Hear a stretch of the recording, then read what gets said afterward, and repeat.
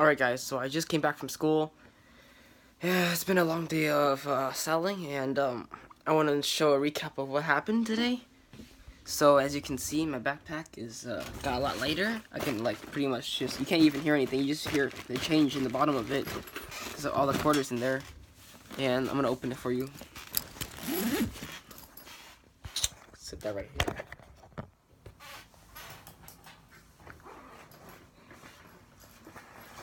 Alright. I'm about to show you guys. Oh I got this random handout. This is like literally all the candy I have left. You can only see like a few Sour Patch in there. And there's a KitKat in the beginning, like I showed you from the last video. I brought like six of them. And just to like juice proof, look, look, if you look outside, it's not in the morning. You can tell it's obviously not morning. So yeah, there you go when I made that video, it was around 7.30 in the morning, or, uh, yeah, no, and actually not, it was like 8.30 in the morning, I got it mixed up. So, here's the candy that I have left. I just restocked today, a little bit, not uh, completely. So as you can see here, I bought a few of these, um, Trolli sour eggs.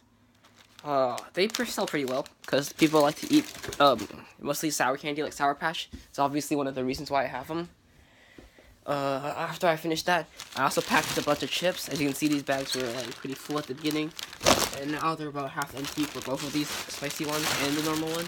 And I bought this new bag today. Um, has a, a lot of different flavors that you don't come with the other ones. And then what I noticed is like it's, it's pretty interesting. Like these kids, right? These kids online, they have these mon- they have money, right? They have, they have like five dollars and ten dollars, and they're like flashing it, right? They're like, oh, I'm not trying, I'm not trying to flex, showing it like I make money, right? But like, kind of is because flexing is like showing that you have more than most people who also do the same thing as you. In in this case, it's candy because like, you know, people when you see people flex, it's not flexing fives, it's flexing like hundreds and twenties and fifties, right? Which is why I'm the OG, man. I gotta show you these twenties, man. Gotta show you these twenties. There's a couple hundreds right here. Anyways. I don't get it. Why, why are all these kids making videos trying to trying to show like they're original? You know, it sounds like they've been selling recently, cause like if they've been selling for as long as they say they were, why do I only see like fifty dollars on the camera? It should be like fifty dollars every two days. That's like I make thirty dollar a day. Yeah, yeah. So that doesn't really make much sense to me.